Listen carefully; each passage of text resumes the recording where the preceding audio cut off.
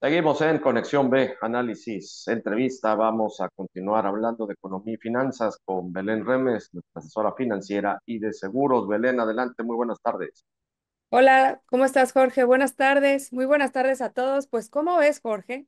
Que México, de acuerdo con la Organización Mundial de Comercio, la OMC, se convirtió ya en el séptimo mayor exportador de alimentos del mundo. Y pues no es cosa, no es poca cosa. Pasó de la posición 9 a la posición 7. Y bueno, el, el primerísimo lugar lo tiene la Unión Europea, que pues obviamente al estar en bloque, pues tienen una mayor fortaleza y, y tienen exportaciones de 741 mil 741 mil millones de dólares. Le sigue Estados Unidos, Brasil, China, Canadá, Indonesia y de ahí sigue México con 50 mil millones de dólares. Pero aquí lo curioso, Jorge, eh, es cuál es el producto alimentario estrella en las, en las exportaciones de México.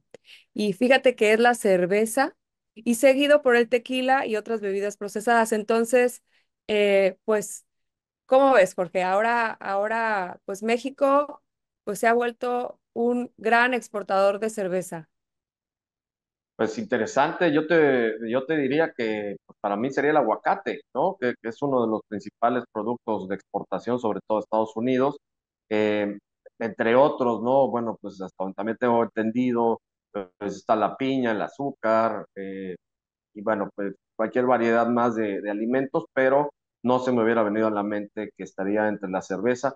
El tequila probablemente sí, por, eh, por las características eh, pues propias de ser un, una bebida sui generis, es decir, una bebida que únicamente se da en las zonas de, bueno, con la, de Jalisco, con el agave azul, en algunas otras regiones que existe el agave azul, y bueno, pues puedes decir, bueno, a ver, se exporta por un tema muy específico, lo mismo pasaría con el mezcal, por ejemplo, pero la cerveza es genérica, vamos, es decir, cada país que produce cerveza pues tiene su propio estilo, su propio sabor, etcétera, pero vamos, la cerveza no es única y distintiva de México, es a nivel, a nivel mundial, entonces realmente sí, sí llama mucho la atención, Belén. Claro, esta lista obviamente incluye solamente productos alimenticios procesados, por eso el aguacate no está en esta lista, ¿ok? Okay. Pero sí, este, pues llama mucho la atención, ¿no? Que eh, la cerveza es el primer lugar con 5.820 millones de dólares en exportaciones.